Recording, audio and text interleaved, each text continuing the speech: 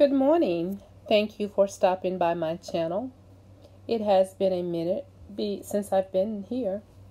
I ask that you like, subscribe, and hit the notification button. I was thinking about some things, some things that I've done to assist myself in preparing to be the best that I can possibly be. So, I want to read the scriptures found in Ecclesiastes 3. And we're starting with verse 1.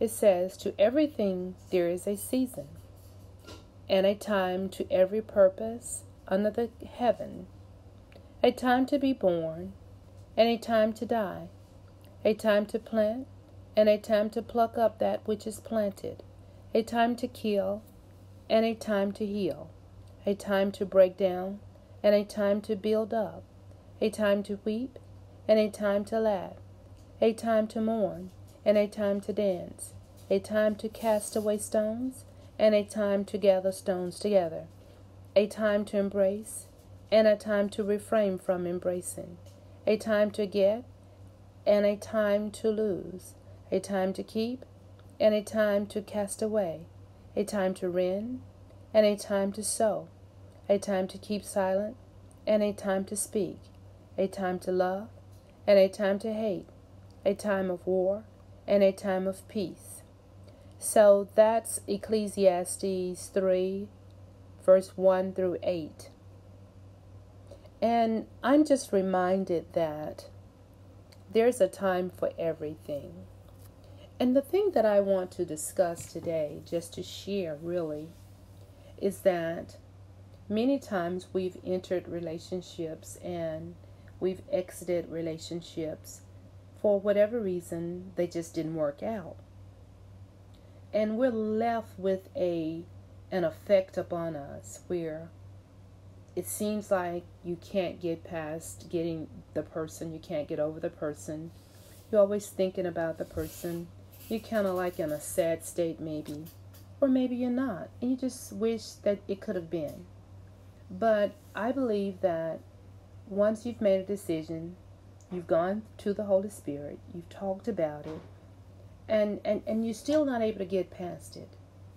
I, I think that you can pray a prayer. It may sound simple, but I have prayed it because I've had to get past some relationships that did not work out.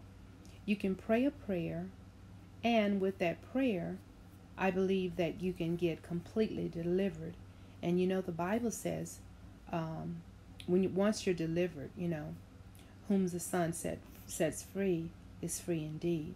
I believe that you will be delivered. That is, if you believe that you'll be delivered. And we're speaking of being delivered from previous relationships, being completely set free from those relationships so that they will not hinder you in building upon uh, or either connecting and building another relationship. So this video is specifically about being delivered from previous relationships or a relationship. So I just want to pray with you about that today. So we go to the Father in the name of Jesus as we pray. So let's go to the Father. Father, we come to you in the name of Jesus. We thank you, we praise you, we give you glory, we give you honor. We magnify your name, for you are faithful. Today, we're specifically coming, just agreeing with those that have been in relationships. The relationship may have been over a day, maybe a month, or a week, or a year, or five years, or ten. But it's still having some type of effect upon their lives, and they want to be free. So we want to agree in prayer, God, that you will deliver them. So, Father God, we come right now. We bind the hand of the enemy. We, we come against you, devil, in the name of Jesus. We rebuke you in the name of Jesus. And we plead and apply the blood of Jesus over this person, over their mind, will, and their emotions in Jesus' name. We bind them to the perfect will of God. We thank you, God, that they won't miss it to the left or to the right. Father God, we uproot every residual experience that's left within their mind, their spirit, their soul, God. We uproot it right now in the name of Jesus. And we curse it to the root right now in Jesus' name. We ask you, Father God, to clear their mind, God, in Jesus' name.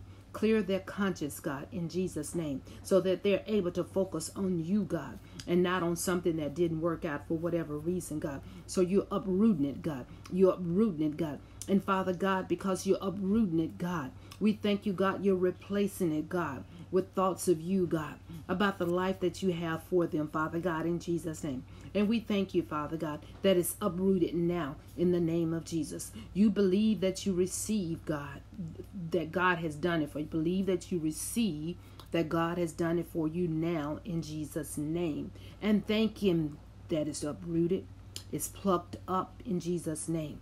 You thank Him for it now in Jesus' name.